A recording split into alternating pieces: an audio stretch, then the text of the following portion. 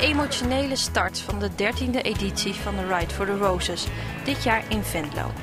Bijna iedereen fietst voor een slachtoffer van kanker. Ik heb me ooit voorgenomen, toen mijn vriendin overleed, om een keer dit te fietsen. En toen kreeg mijn vader vorig jaar nierkanker. En toen dacht ik, nou moet ik hem niet meer uitstellen. Hij maakt het helaas niet meer mee. Een collega van ons is vorige week uh, overleden. Ook anderhalf jaar uh, leidersweg.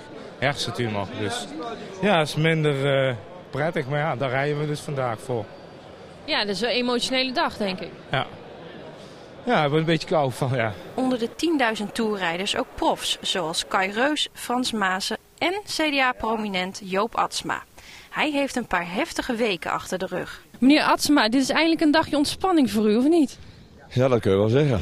Na, uh, na een, uh, een, hele heftige week. Eigenlijk iedere dag uh, nou, twee, drie uur s'nachts.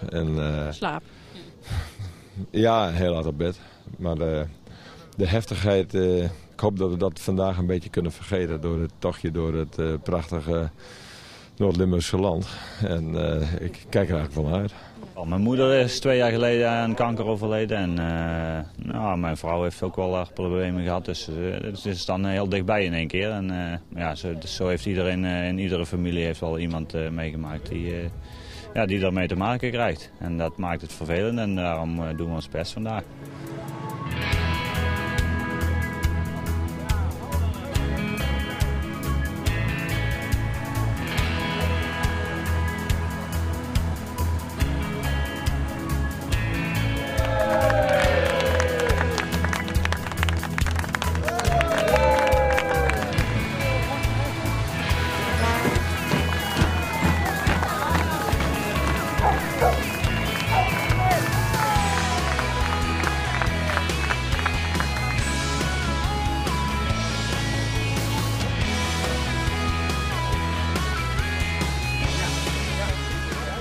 Het was echt ongelooflijk hoeveel mensen uh, bij de weg stond. Dat had ik echt niet verwacht. Het was een topdag. Als de laatste renners binnen zijn, stijgt de spanning. Want wat is het eindbedrag dat bij elkaar is gefietst? Het totaalbedrag van de 13e Rijk voor de Roses is ruim